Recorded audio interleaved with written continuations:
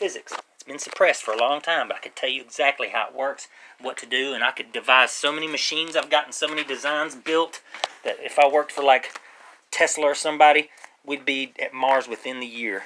Anyway, metaphysics. All right, I'm just going to explain the, or, the aura, okay? All right, now, if you've watched any of the videos where I was talking about bionuclear and bioelectric energy, that's what we are, okay? We are living biological stars, okay? We have energy output, okay? We are potential energy, and we emit kinetic energy, all right? Now, that's kind of beside the point, but in a way, not really, all right? Say a light wave's hitting you, okay? What you do not see are little micro explosions, all right, from those light particles hitting you and bouncing off, okay? This is your aura. This is what glows around you, all right? Neutrinos and photons are still going to pass through you, but the main body of light has mass, and it bounces off of you. That's why there's a shadow. I mean, that's common sense, all right? Light cannot pass into the nucleus of an atom, okay? The light particles are too big. So we have to use a beam of electrons to see inside an atom. So we have to use an electron microscope, okay? A microscope normally will not work. Light particles are too big, indicating they have mass, okay? Light cannot pass in through a black hole. Now, I already figured that black holes are pure strong force, okay?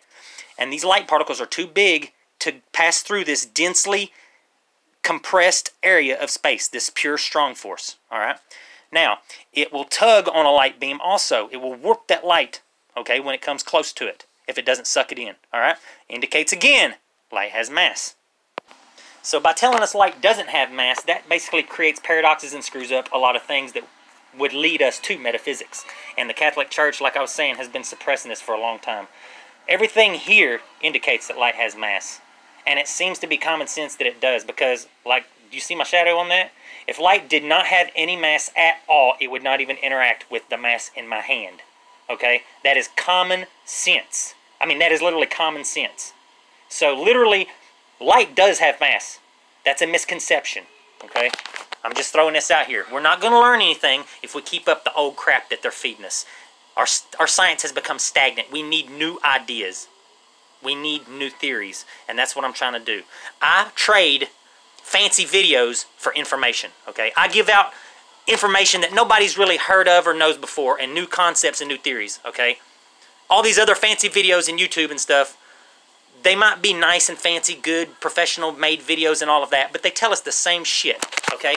There's nothing on any of these scientific YouTube channels that if you know a lot of stuff and are as interested in science like I am, that they're not going to tell you that you don't already know. Okay, I mean, they're, you, they're just going to say, yeah, da da da da da da da da about this, that, blah, blah, blah. You're like, I already know all this, I already know all this, you know? I, I try to give out new information, stuff that, revolutionary ideas, okay? I, I'm not, I'm, I'm just saying. I'm just saying. I mean, have some faith, man, you know.